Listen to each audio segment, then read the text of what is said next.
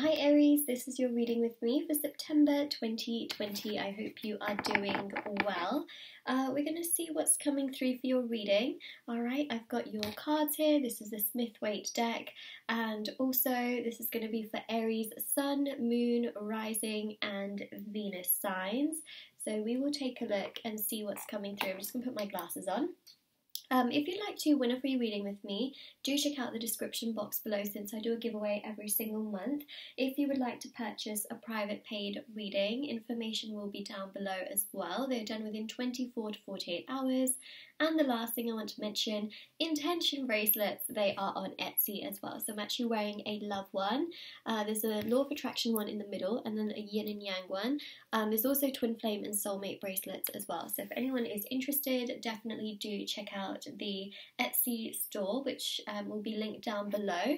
Um, everything is meditated with sage there to remove obstacles and challenges from different areas of your life. And there's um, crystals, necklaces, bracelets, there's also teas and uh, what what else is there? Um, embroidered intention cards which you can put under your pillow, in your wallet, or your purse.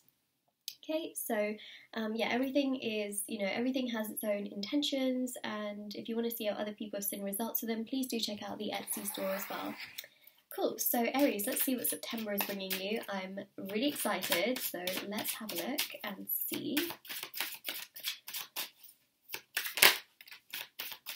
Four of Swords.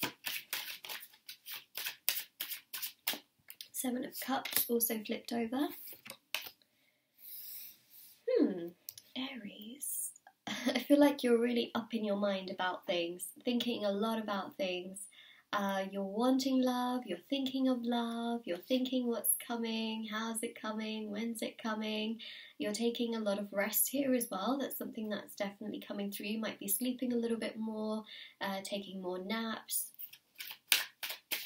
You're probably wondering, like, what's that got to do with um, September? Well, I will say, you know, September has a Virgo season, and of course, with Virgo season comes a lot of that sort of thinking, pondering, wondering, contemplating, um, at times being overly critical of yourself. So, you know, if you're someone that has not perhaps thought of love so much, or you are someone that thinks about love a lot, you're just going to accelerate and think much more of love. You're going to be perhaps thinking, okay, I want my love life to be like this, I want my partnership to be like this, I want to find someone like this. So it just puts more of a spin on things where you're like, I need this, I want this, and because of Virgo season and the thinking aspect of things, it's just, you know, more, more, more. so you're going to be thinking a lot more about love. You might even be getting a lot of dreams in regards to love as well. I actually think that this is not necessarily a bad thing because the Seven of Cups definitely shows that at least you'll be able to know what you want um, in regards to this, right? You know your like I always feel as well what's really important to mention here is to think about your needs, right? Think about yourself as a person and then what you need in relation to that. Because say for example you're in a situation with someone or you're with someone, it's also really important to ask yourself like is that person serving my boundaries, my goals, my values, my needs? It's not just always about the other person wanting the other person because then that's chasing, right? It's about is that person good for me? Is that person prioritizing me? Can that person give to me what I expect? In return, perhaps that's respect, um, faithfulness. Is that person giving me what I need? And if not, can I manifest it? All right, not in the same person, but you know, new person wise. So you're definitely thinking here about your needs as well. I think that's really important very vital and crucial. See, King of Swords, it's almost like you're taking matters into your own hands. Okay, I think that you're going to be quite clear cut here.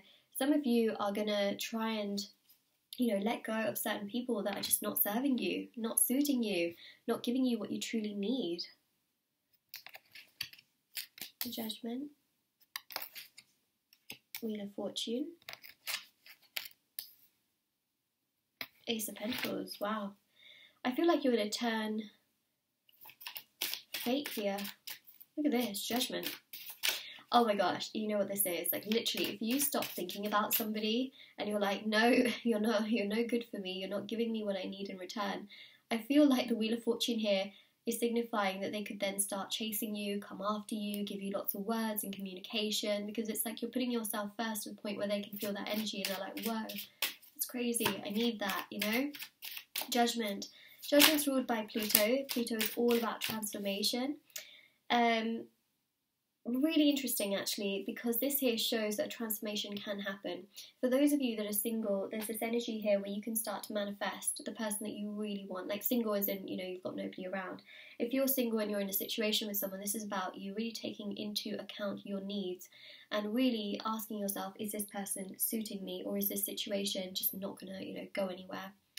Then, of course, we've got the King of Swords. So, this is about being direct. This is being direct about your thoughts and your needs. A lot of you here are doing a lot of um, healing, right? Because the star here is almost like preparation for healing, trying to get yourself together in a good place. The Ace of Pentacles is brought to you by the Knight of Pentacles. This shows that there can be someone new that starts to come in in September that starts to show interest to you in September. So if you're someone who is just not getting what you want, you know, your needs are not being met, consider this that September could bring you something so much better.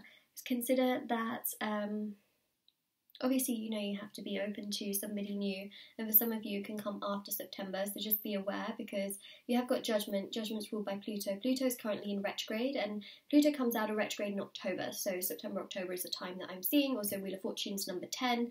10, of course, October.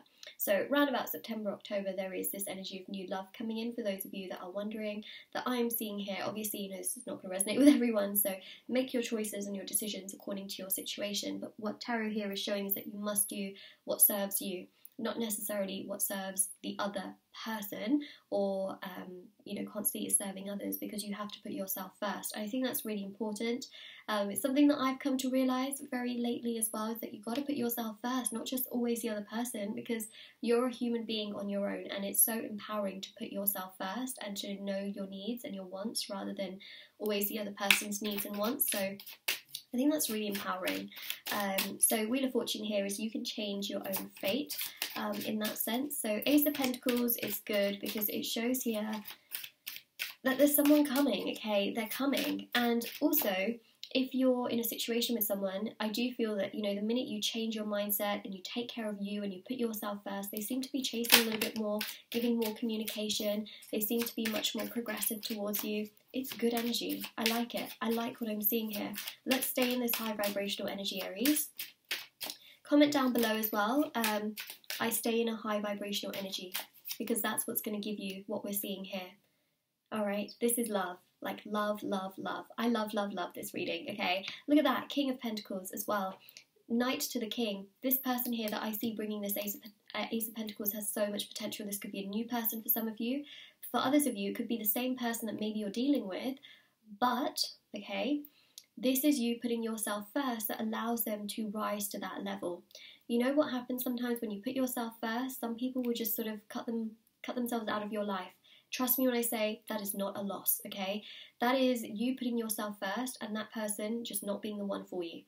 I, I, I know that's blunt to say, but it's so, so true, okay? Chasing after that is not going to give you happiness, but manifesting what's truly there for you is really important, okay? If someone cuts themselves out of your life, I mean, you know, that's just, it's, it's them, okay? It's not you especially if you lay out, you know, what you truly want in life, your goals, your boundaries, your values. It's not a loss. Um, see what the last card here is. There's already a card that's already come out, by the way. I'm looking for the last card. Ooh, Page of Swords. Cool. See? There's real potential here for someone new to come in, okay, and for you to to be chased and be chosen. Two of Cups, right? True love. This is not the kind of love where you're chasing after someone and wanting someone and praying to God for someone when the other person's just living their life doing whatever they want. No. This is both of you praying equally for one another, wanting the best for one another, being there for one another, and choosing one another. Okay? That is what I feel is true love. Okay? True love destined love. So yeah, you're thinking a lot here. Nine of uh, nine of wands, sorry. Um, wondering, pondering, contemplating this beautiful energy because I just feel here like you're going to turn fate and you're going to turn it towards yourself, and that's what's going to bring you true love. Okay. So, this is your reading, Aries. Take care, stay safe. Everything is in the description box below as usual. All right, take care.